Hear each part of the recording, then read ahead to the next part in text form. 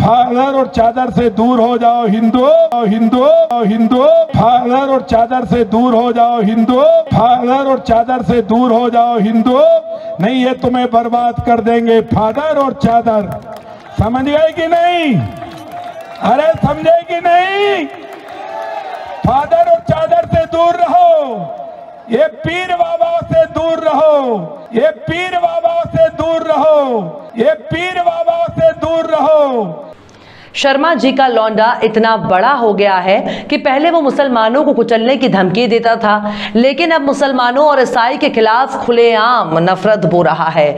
शर्मा जी का लल्ला इतना काबिल हो गया है कि वो विधायक बनने के बाद अब हिंदुत्व की नाव में सवार होकर हिंदू हृदय सम्राट भी बन गया है। सलाम, नमस्ते, सत मैं हूँ आपके साथ हर्षिता मिश्रा और आप देख रहे हैं टाइम्स मेल।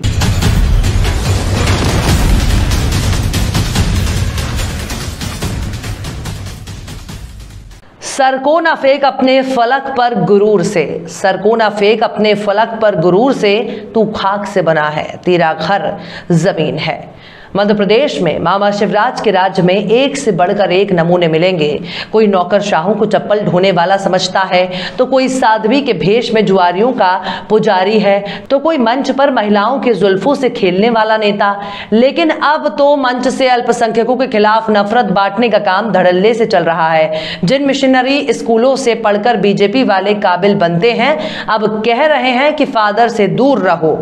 जिन दरगाहों को हिंदू मुस्लिम एकता पहचान मानी जाती है उन्हीं दरगाहों से दूर रहने के लिए बीजेपी का विधायक प्रवचन दे रहा है। जिन लोगों को धर्म और कर्म की एबीसीडी भी नहीं आती, वो लोग बता रहे हैं कि हिंदू बहुत ही ज़्यादा खतरे में है। कुल मिलाकर पड़ोसी राज्य यूपी में होने वाले चुनाव पहले ही हिंदू मुस्लिम की आग भड़काने की तैयारी हो रही है। इसमें शिवराज का विधायक रामेश्वर शर्मा मंच से खुलेआम जहर उगल रहा है। आखिर क्या क्या कहा रामेश्वर शर्मा ने और किस तरह का कचरा फैलाने के लिए ये पहचाने जाते हैं? हैं, बताएँगे आपको और भी बहुत कुछ। लेकिन आप अगर हमारे चैनल पर नए हैं और पहली बार हमारी वीडियो को देख रहे हैं तो आप हमारे चैनल टाइम्स मेल को सब्सक्राइब कर लें, वीडियो को लाइक कर दें और बेलाइकन का नोटिफिकेशन बटन भी प्रेस कर दें, ताकि बिना देरी हमारी हर खबर आपको मिलती रहे। लौटते हैं आप खबर की तरफ़। मध्य प्रदेश में भोपाल से बीजेपी विधायक रामेश्वर शर्मा ने एक बार फिर से अपनी बीमार मानसिकता को जग ज़ाहिर कर दिया है। रामेश्वर शर्मा ने मंच से खुलेआम हिंदुओं को फादर और चादर से दूर रहने के लिए कह रहे हैं। भोपाल में एक दशहरा कार्यक्रम को संबोधित करते हुए विधायक शर्मा ने कहा कि फादर और चादर से दूर हो जाओ हिंदुओं, नहीं तो ये तुम्हें बर्बाद कर देंगे। पीर बाबा से दूर रहो, ये पीर बाबा तुम्हारे हनुमान मंदिर जाने में बाधा है। विधायक शर्मा यही नहीं रुके। इसके आगे वो कहते हैं कि पीरों को पूजने वालों से बोल दो कि तुम ज़मीन पर दफन भर भरोसा करते हो। हम दुनिया को चलाने वाले पर भरोसा करते हैं, जो बजरंग बली हैं। रामेश्वर शर्मा फिर कहते हैं कि अपनी संस्कृति का ख्याल रखो और गुड मॉर्निंग कहना बंद कर दो। सुबह उठकर श्लोक पढ़ें और धरती माँ को धन्यवाद कहें, जो हमें बहुत कुछ देती है। अपने इस बयान को रामेश्वर शर्मा ने अपने ट्विटर अकाउंट पर शेयर करते हुए लिखा है कि फादर और चादर वालों से दूर रहो। जय श्री राम ही हमारा स्वाभिमान है। आप भी सुनिए बीजेपी विधायक रामेश्वर शर्मा के इस बयान को। फादर और चादर से दूर हो जाओ हिंदू। नहीं, ये तुम्हें बर्बाद कर देंगे। फादर और चादर, समझ गए कि नहीं? अरे, समझे कि नहीं? फादर और चादर से दूर रहो। ये पीर बाबा से दूर रहो। ये पीर बाबा तुम्हारे हनुमान मंदिर जाने में बाधा है। पीरों को पूजने वाले से बोल दो कि तुम ज़मीन में दफन पे भरोसा करते हो। हम दुनिया को चलाने वाले पर भरोसा करते हैं जो बजरंग बली है। हम बजरंग बली पर भरोसा करते हैं। और इसलिए कल्चर में ध्यान रखो। गुड मॉर्निंग भूल जाओ। कराग्रे वशते लक्ष्मी कर मध्य सरस्वती। मूले ते गोविंदा प्रभाते उठकर दर्शनम। पलंग छोड़ने से पहले धरती पर हाथ टेक करके दो। हे कुक से पैदा करने वाली माँ, तुझको प्रणाम है। मेरा मलमूत सहने वाली भारत माँ, तुझको बारंबार प्रणाम है। तुझे बारंबार प्रणाम है। तो सुन लिया आपने, रामेश्वर शर्मा ने बयान तो दे दिया, लेकिन अब विपक्षी नेताओं ने विधायक के इस बयान को अल्पसंख्यकों का अपमान करार देते हुए इनके खिलाफ कार्रवाई की मांग की है।